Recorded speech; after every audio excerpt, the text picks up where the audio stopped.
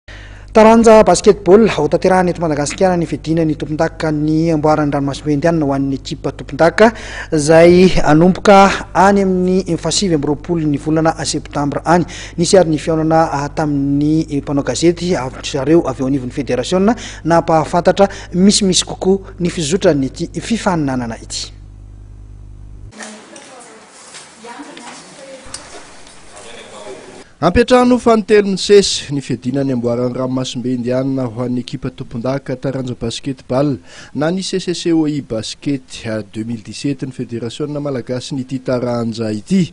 Fifaninanana izay atao etsy amin'ny lapan'ny fanatanjahantena Mahamasina ny telo amby roapolo septambra ka hatramin'ny iray oktobra ho avy izao.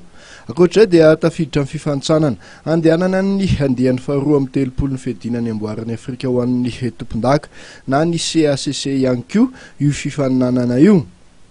Firenena dimy, ahitana Madagasikara mpampiantrano, Mayotte, Seychelles, Comores ary Maurice no handray anjara amin'ity CCCOI deux mille dix-sept ity.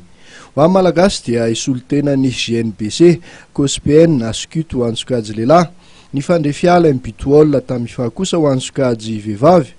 Anisan'ny firenena manana solontena betsaka indrindra ihany koa i Mayotte.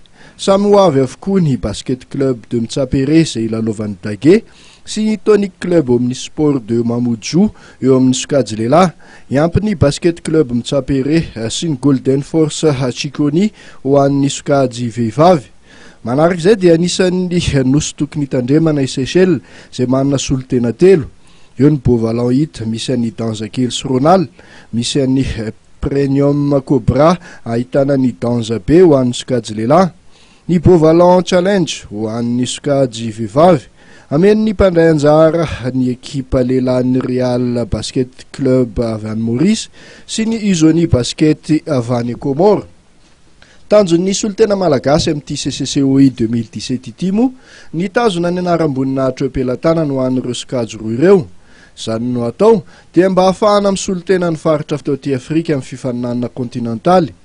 Nandritra ny fampahafantarana nataon'ny FMBB sy ny mpiara-miombon'antoka aminy ny fandraisana ity CCCOI deux mille dix sept ity ny talata maraina teo teny amin'ny CMS Soanierana moa dia efa nampiseho fahavononana tanteraka izy ireo amin'ny lafiny rehetra na eo amin'ny fikarakarana sy ny fandaminana izany na eo amin'ny fandraisana.